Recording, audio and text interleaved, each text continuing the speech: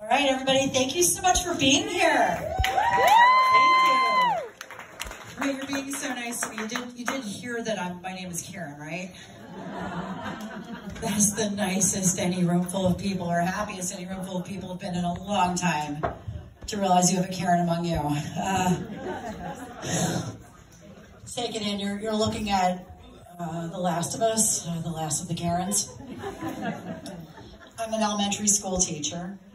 Yeah. For 25 years. Yeah, thank you. And uh, I can tell you what, I don't have any current students named Karen. And nor will I ever, ever again. Unless, unless those new parents are just staring into their baby's eyes. Wait, look, honey. She's already the president of a homeowners association. Oh, oh, look, she's got her ring camera aimed at the Hispanic neighbor's quinceanera. Oh my gosh, she's dialing ice to see if they want the footage. Oh my goodness, look at her. Look at her little camera. Um, yeah, it's Halloween week, you guys. Halloween week, and I work at an elementary school. You have no idea how amazing it is to know someone's listening to me right now. Woo!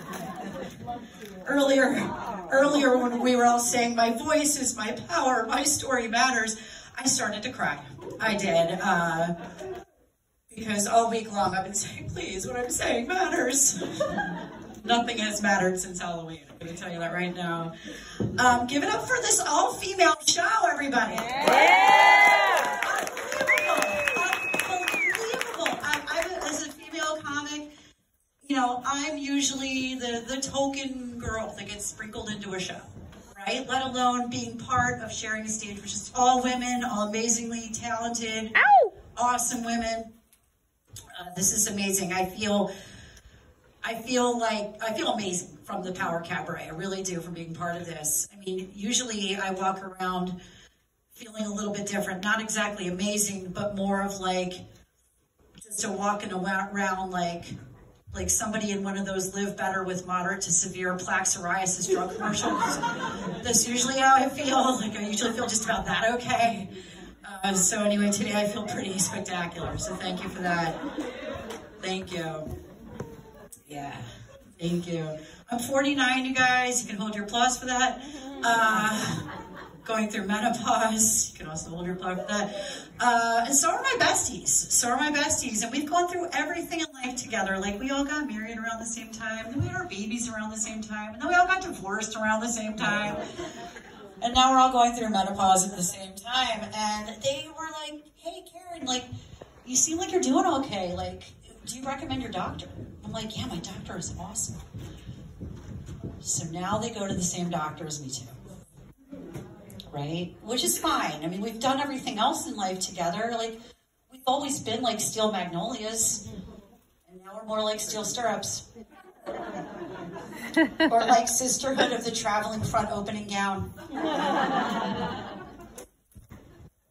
You know, say what you will about Phoenixville, but good on us, everybody, that as far as we know, for a group of middle aged divorced women, this is the first time the same person's had their hands in all of us. the kids laughed, I checked. Um, I'm a mom of two adult daughters that I'm incredibly proud of. Um, and, you know, I'm always saying things to them like, never make yourself small. And then they kind of look at me puzzled because they know I'm wearing Spanx. And they know I stopped washing my hands three weeks ago because I'm one stomach virus away from my ideal body weight.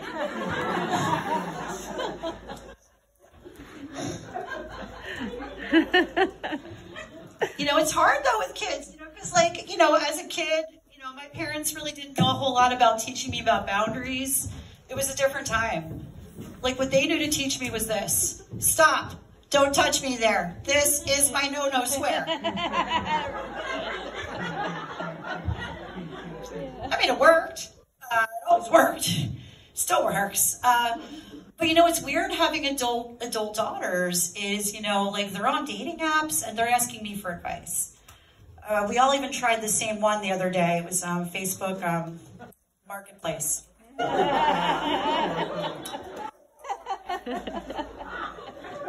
where somebody reached out and said, "Hey, are you still available?"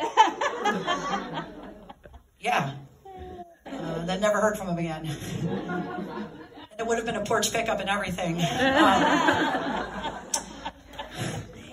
you know, there was a guy though that messaged me, and it was so he was incredibly rude. This is a true story. He said, "I want to take you on a date somewhere you've never been."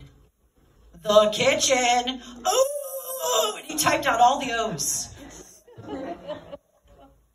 Like, what kind of what kind of person does that and thinks that they're going to get, you know what I mean? Like, who does that? So I said to my daughters, I am not responding to this person. And they were like, no, you need to. You need to for us. Like, all right. I'll take you on a date somewhere you've never been. The therapist. know, expecting to find lasting love online, you guys, is kind of like expecting to find lobster bisque on the dollar menu at McDonald's. You know? Uh, I mean, a guy my age, I wouldn't necessarily call him a happy meal. He's more of like an emotionally unavailable existential crisis meal. They come with this awesome toy, though, you guys. I don't know if you've seen these things. It's a, a CPAP machine.